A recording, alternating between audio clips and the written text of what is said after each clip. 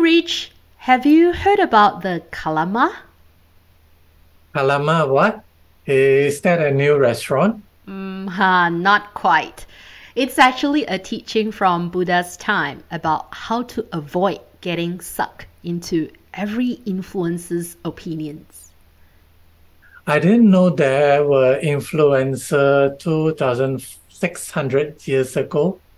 You bet there were.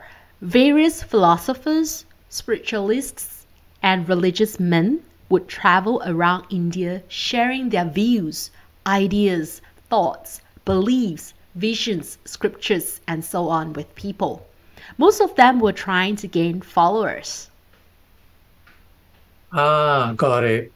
I can imagine all these ancient influencers trying to outsmart one another to gain more followers.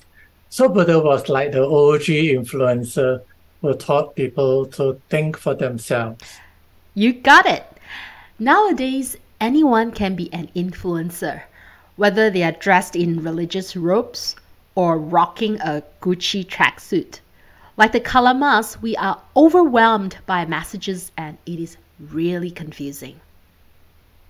Yeah, some folks might even try to persuade you that the earth is flat Uh, as a pancake or that investing in plastic trees is a brilliant idea. Exactly. So the Kalama Sutta is all about using our brain instead of blindly following someone else's ideas and beliefs.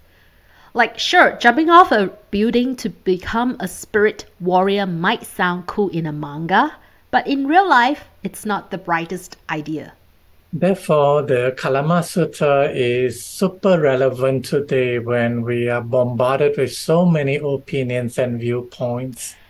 Yep. So, whether it's about religion, politics, or which Kardashians is the most fashionable, it's important to take a step back and evaluate things for ourselves.